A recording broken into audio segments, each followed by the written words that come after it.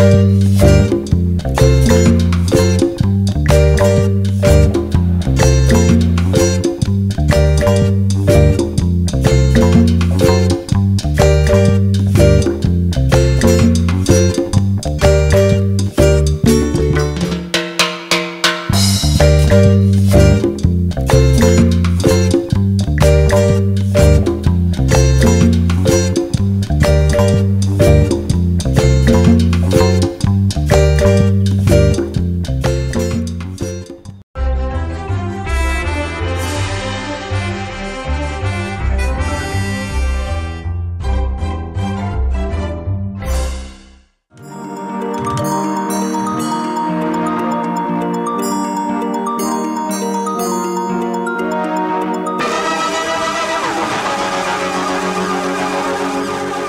Bienvenidos a la Noche Cósmica de la Oveja Eléctrica, el programa de ciencia y pensamiento de Canal 22, en donde hoy hablaremos de los mapas que tenemos para vernos mejor.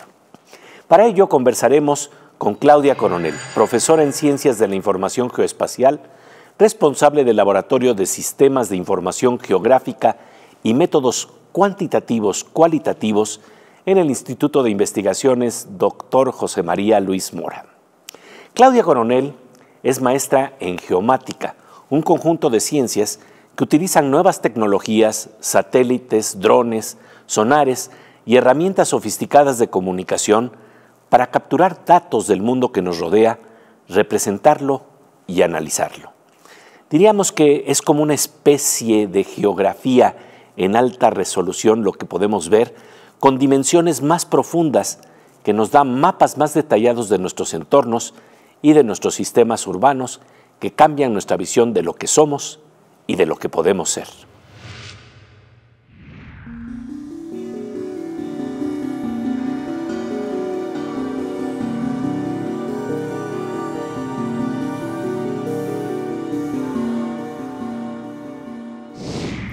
Claudia Coronel, de verdad, muchísimas gracias por tu presencia aquí en la Oveja Eléctrica. Muchas gracias a ti, José. Oye, Hablemos de tu investigación que es tan interesante, que tiene que ver con la posibilidad de entender nuestras experiencias, porque a veces se plantea que podemos tener una serie de vivencias, pero si no tenemos mapas, no, las, no, no podemos desplazarnos tan fácilmente dentro de ese territorio de experiencias. Tú lo haces en términos biológicos. Háblanos de cómo sucede esto.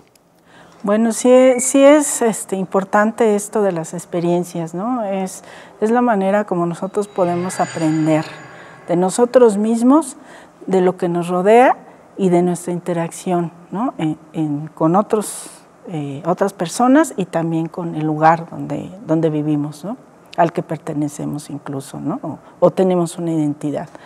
Entonces es muy relevante estas representaciones, que pueden ir desde una representación eh, espacial mental, ¿no? hasta las que se hacen en papel, los dibujos, croquis, eh, la cartografía tal cual formal, ¿no? la que conocemos, que generan nuestras instituciones cartográficas o las instituciones de investigación o la academia y también aquellas cartografías que surgen de la participación de los grupos, porque hay cartografía también participativa en la que se plasman esas formas de apropiarse de los territorios, de cómo los ven. Todas esas representaciones son sumamente relevantes, enriquecen nuestra experiencia, nuestro conocimiento acerca de lo que es relevante eh, para solucionar un problema, para para ver de qué manera podemos mejorar nuestro entorno, nuestra relación con el ambiente, pero también nuestra relación con, las otras personas y con los otros grupos. Y en este marco estamos hablando de ciencias de información geoespacial que nos permiten otro tipo de mapas, mapas digitales, que nos pueden dar espejos de lo que son nuestros entornos, de nuestros ecosistemas, que jamás pensamos que podríamos tener. ¿Cómo se da este proceso? Bueno, este proceso ya inició hace muchos años, ¿no? este, desde mediados del siglo pasado, que inicia la, la, geografía cuantitativa, de ahí se deriva el análisis espacial y la ecología del paisaje, que después dieron lugar precisamente al desarrollo de los sistemas de información geográfica, la cartografía digital, la geovisualización y más actualmente a todas estas aplicaciones móviles, en, internet, en web, que ya estamos tan familiarizados, ¿no? este, incluso en los celulares. Eh, todo eso se ha ido desarrollando en, los últimos 30, 35 años. Entonces ha sido una transformación tremenda, una evolución grandísima.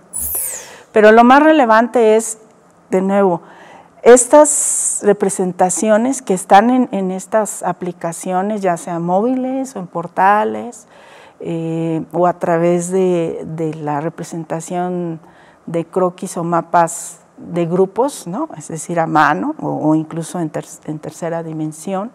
Todas esas representaciones nos permiten, como dices, eh, observar ese lugar en el que vivimos, observar esos territorios con los cuales interactuamos y que son sumamente relevantes. Y no solo es el entorno natural o los ecosistemas, como genéricamente se les conoce, sino también los sistemas urbanos. Porque somos parte también de esos parte ecosistemas. De esos sistemas. Entonces, al manejarlos, al, interactuar con ellos, al planear este, de qué manera podemos hacer una mejor interacción este, pues más armónica o, más, o que permita su existencia a lo largo del tiempo y siga beneficiando a las generaciones futuras, en ese sentido es que es muy relevante tener una representación a la cual interactuar, experimentar y ver, ver cómo nos responde. Mapa y territorio. Ambos son clave para entender nuestros mundos. Aunque el mapa no es el territorio, como señalaba el científico y filósofo Alfred Korzybski, es claro que nuestras cartografías nos ayudan a desplazarnos y entender las distintas regiones de nuestras vidas, entornos y sociedades. Y eso es lo que hacemos hoy en día mediante nuevos instrumentos y observatorios. De ello seguiremos conversando con la maestra Claudia Coronel después del corte. Mientras tanto, pasamos a una sección con nuestra querida compañera Aura López, quien nos habla de investigaciones de vanguardia y proyectos vinculados al conocimiento que se impulsan hoy en día en nuestro país. Pues querida Aura, como siempre, un gusto encontrarnos aquí en La Oveja. Muchas gracias, Pepe. Oye, y pues un tema recurrente que estamos tratando y tocando tú y yo tiene que ver con cómo le damos la vuelta a ciertas situaciones. ¿Qué hacemos con la basura para que precisamente tenga otra connotación? Sí, hoy les traigo un tema muy interesante sobre las matas que está eh, ubicado en el sur de Veracruz, cerca de Cozoleacaque, Minatitlán y Coatzacoalcos, y ha sido el tiradero a cielo abierto más grande del país y uno de los mayores focos de contaminación, pues durante 25 años recibió un estimado de 500 toneladas de residuos al día, acumulando un bulbo tóxico equivalente a 7 millones de toneladas. Fue cerrado en septiembre del año pasado y actualmente se busca su saneamiento con apoyo del CONACIT, la Secretaría del Medio Ambiente, el Gobierno Federal y Municipal. Algunos de los beneficios que se han logrado hasta el momento son la instalación de un equipo con personas expertas, geólogos, biólogos, ingenieras y economistas para integrar un diagnóstico de alcance nacional que revela la gran problemática sobre la gestión de residuos sólidos en el país. También se habló de una inversión de 4 millones de pesos para la capacitación a operadores de maquinaria pesada de sitios de disposición final, así como autoridades locales y estatales, soluciones también para transitar de basureros a rellenos sanitarios que cumplan con la normatividad vigente sobre el manejo de residuos y cuidado del ambiente y la capacitación en manejo de rellenos sanitarios. Por supuesto que los cambios llevan tiempo y uno de los más importantes también ha sido el lograr la conciencia del ciudadano en el tema del reciclaje. Pues estamos hablando del cambio de bulbos tóxicos a bulbos de conciencia. Totalmente de acuerdo, Pepe. Pues como siempre, querida Aura, te agradecemos tu presencia aquí en la Oveja Eléctrica. Gracias, Pepe. Muchas gracias, querida Aura. Después de un parpadeo cósmico, volvemos a la oveja eléctrica, en donde estamos conversando con la maestra Claudia Coronel sobre los nuevos mapas que tenemos para vernos mejor, para ampliar las dimensiones de nuestra geografía física, biológica y urbana.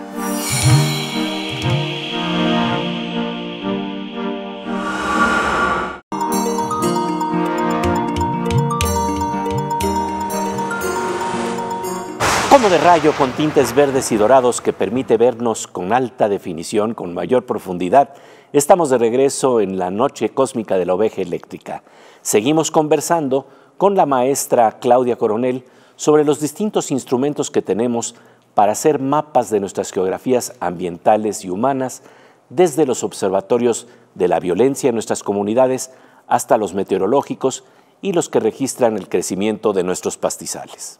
La maestra Claudia Coronel realiza investigaciones en el área de ecohidrología y gestión adaptativa en el Centro Geo, un espacio de investigación en ciencias de información geoespacial integrado al Sistema Nacional de Centros de Investigación CONACIT. Este trabajo requiere la conjunción de diversos observatorios de la naturaleza que nos permiten, a la manera del título de una película escrita por José Agustín, acercarnos a la expresión, ya sé quién eres, te he estado observando.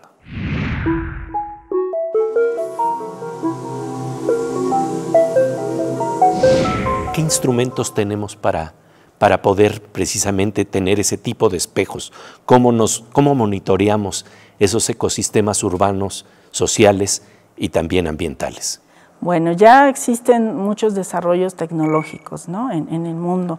Eh, existen redes de observación, por ejemplo, a nivel internacional, eh, que observan, por ejemplo, el estado de salud de los ecosistemas, es decir, miden sus flujos, flujos de energía, flujos de agua, eh, de carbono, ahorita que tan, es tan relevante el, carbono para esto del tema del cambio climático. Y también hay sensores portátiles o sensores que, se instalan de manera fija por un tiempo y después se recoge la, observación. Observamos animales, observamos plantas, observamos rocas, se observa la, se observa la, corteza terrestre, ¿no? Ahora con esto de eh, los, el sistema sismológico, por ejemplo. Entonces, tenemos que observar todo. ¿Por qué lo tenemos que observar?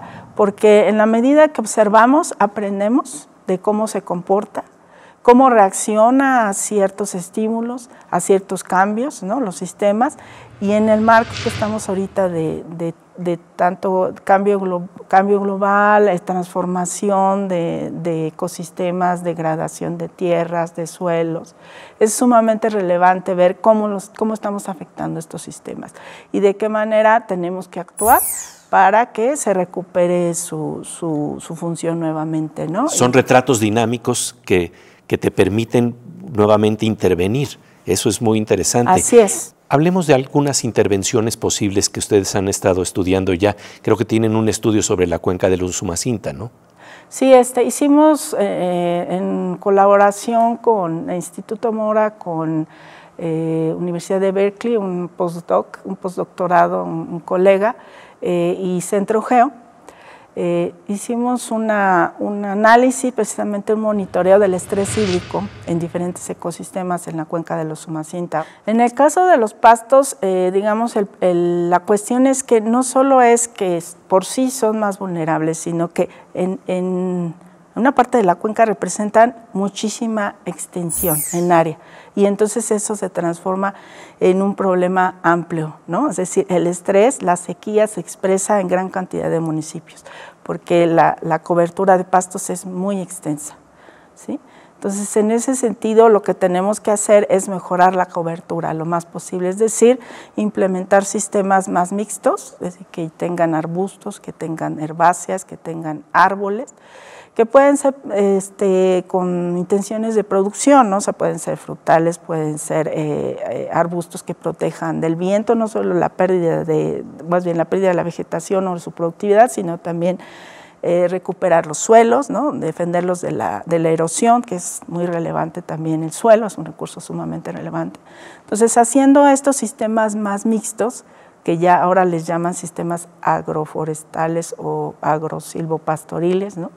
Eh, en la medida que se vaya haciendo esto y no solo plantando pastos para ganadería, pues vamos a ir recuperando con mucho las capacidades de estos sistemas para, para no ser tan vulnerables a estos eventos de sequía, por ejemplo. Y, y por ello es tan importante tener estos mapas. El primer paso es tener los mapas.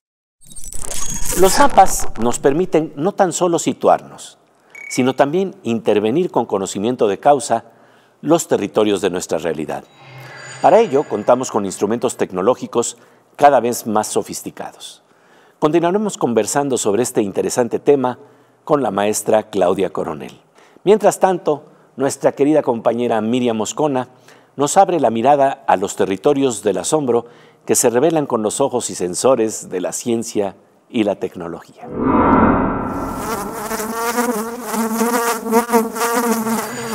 Querida Miriam Mosquita Eléctrica, qué gusto encontrarnos.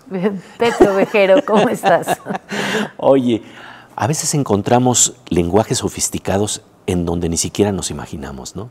Pero muy fuerte.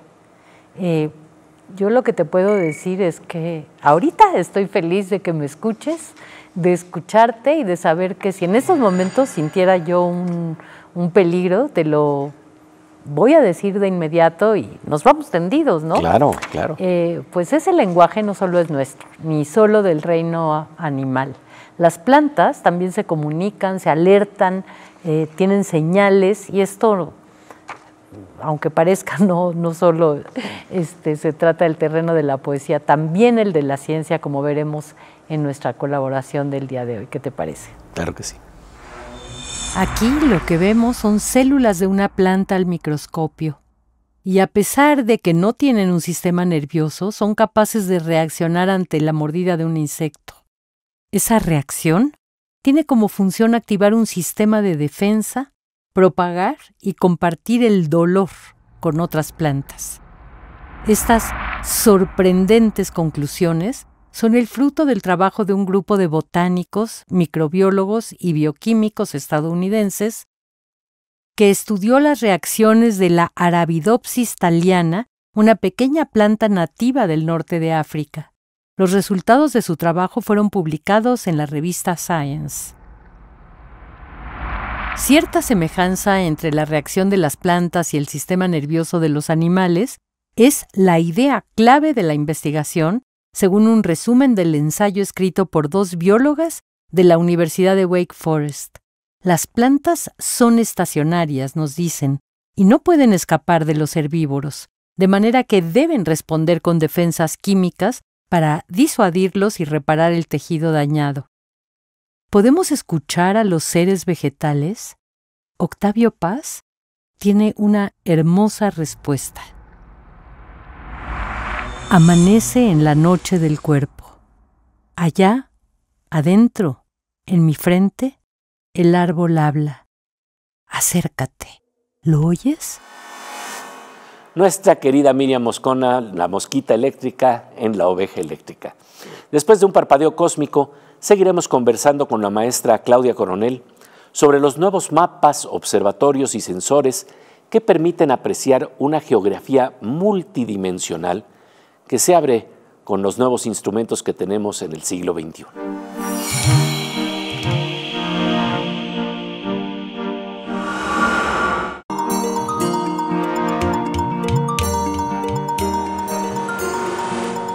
Como de rayo con tintes verdes y dorados que iluminan nuestros paisajes de forma multidimensional, estamos de regreso en la noche cósmica de la oveja eléctrica y seguimos conversando con la maestra Claudia Coronel, especialista en modelado biofísico y análisis socioterritorial, manejo avanzado de tecnologías de información espacial y monitoreo socioambiental. Es decir, es especialista en los nuevos mapas, sensores y sofisticados instrumentos que permiten ver con más detalle los territorios en los que nos movemos.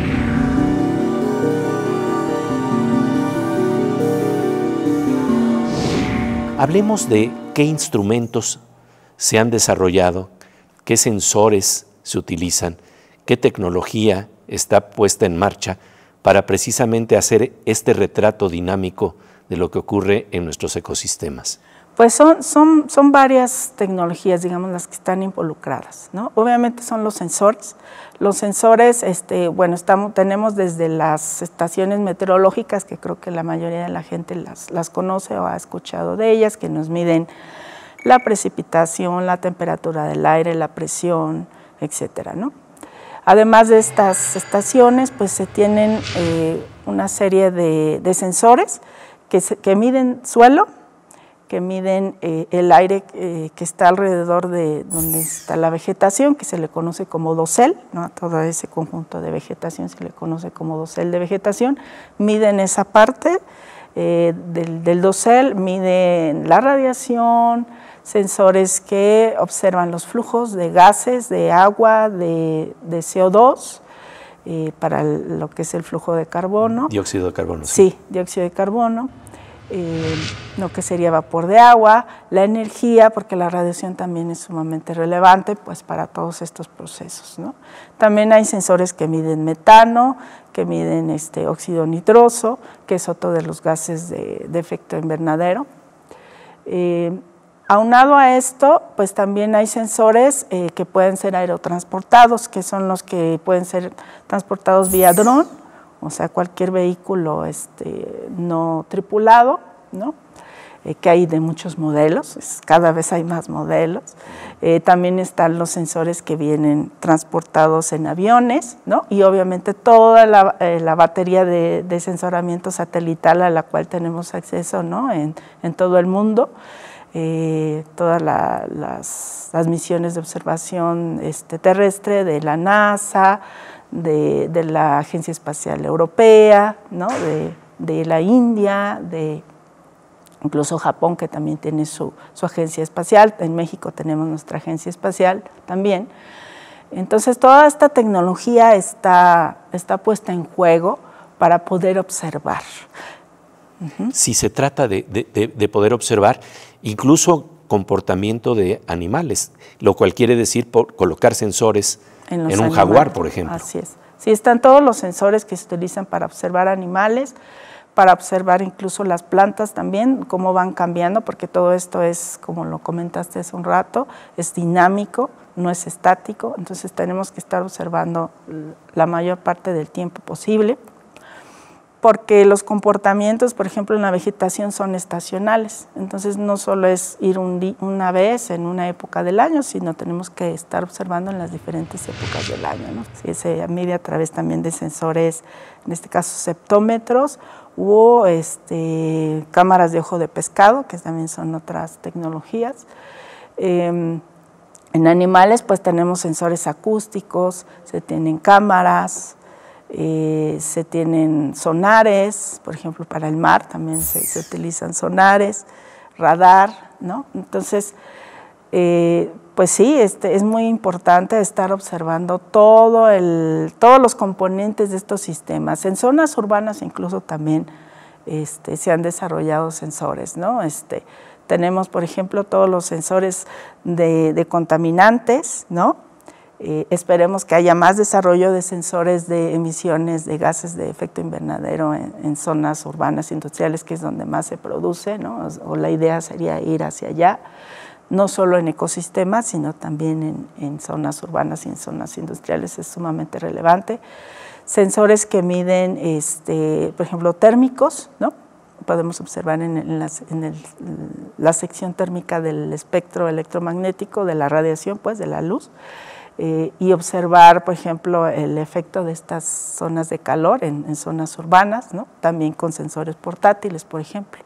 Los drones pueden tener cámaras térmicas también. Entonces hay un desarrollo tremendo y cada vez mayor.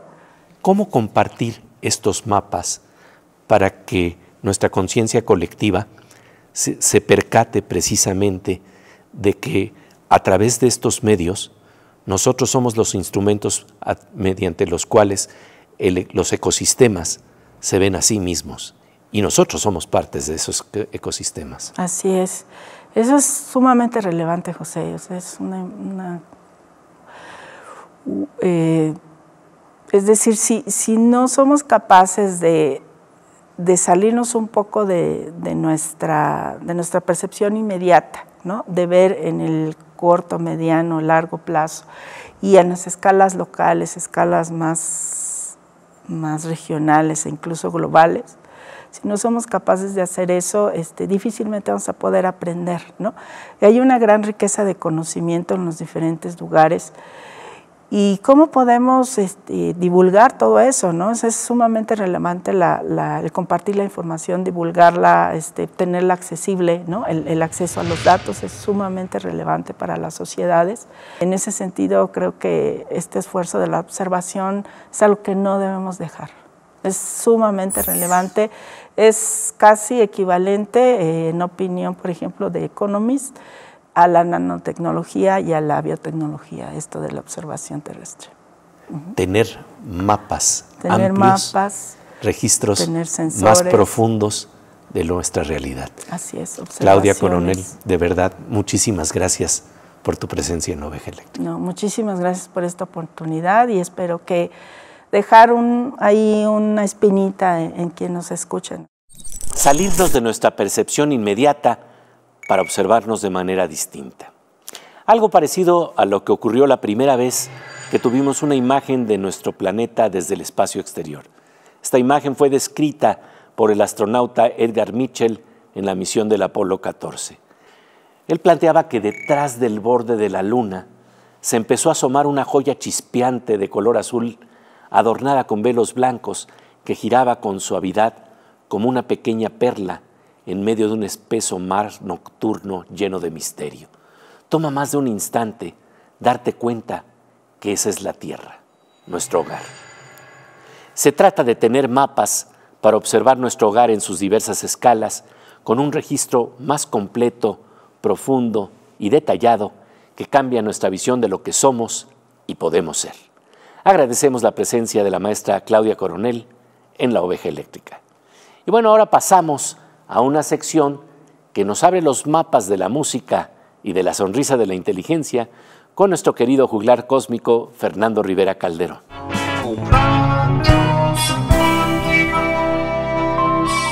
Mi querido Fernando Rivera Calderón, encantado de encontrarnos en la nueva temporada de La Oveja Eléctrica. Igual, mi querido Pepe, ya te extrañaba mucho. Yo también. Y bueno, ¿cómo ves si le ponemos un poco de ritmo a los algoritmos? Sí. Porque están muy, muy metidos ya en nuestras vidas y a veces nosotros ni cuenta nos damos. Claro, Así que a ver si les cae el 20 con esta canción, que dice así.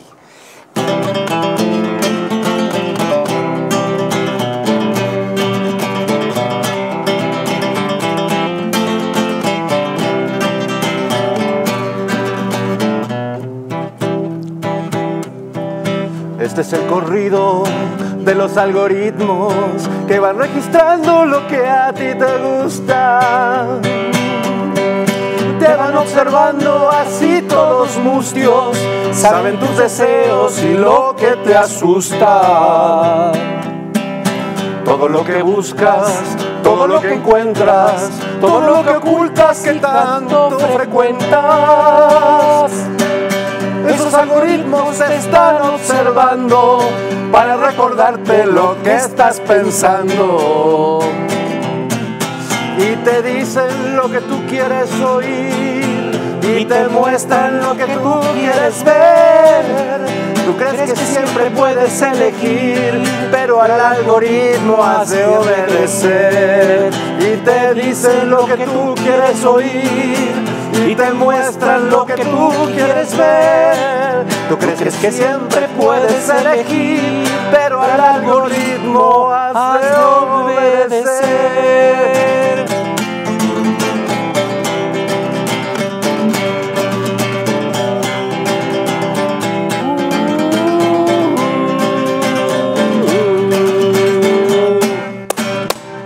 Eh.